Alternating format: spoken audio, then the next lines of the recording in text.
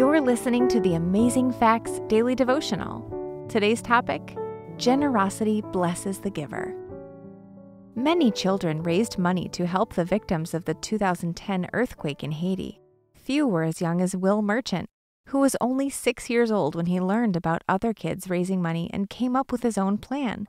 By selling his original artwork, Will raised $500 to help earthquake victims. He was asked why he wanted to help people he'd never met. His answer God led me in my heart to do that. There are many different motivations for helping others.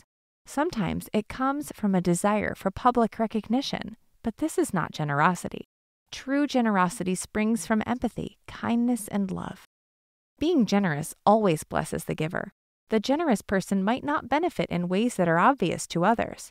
In fact, their gift might be spurned or unappreciated. But even then, there is something positive that happens inside the heart of the person who gives. On the other hand, according to the proverb, being stingy has an opposite outcome. It leads to poverty. This is always true, not necessarily in material things, but at least in a spiritual sense. The Bible says, The generous soul will be made rich, and he who waters will also be watered himself. Proverbs 11:25.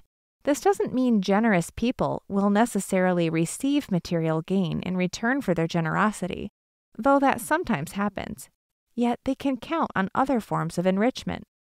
There are definite emotional, physical, and spiritual benefits to giving.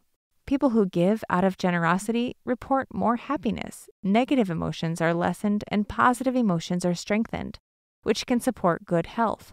The spiritual blessing of giving comes from God, the ultimate giver.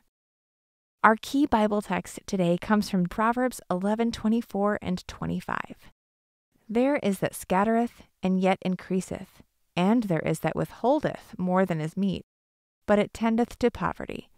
The liberal soul shall be made fat, and he that watereth shall be watered also himself. Thank you for listening to the Amazing Facts Daily Devotional.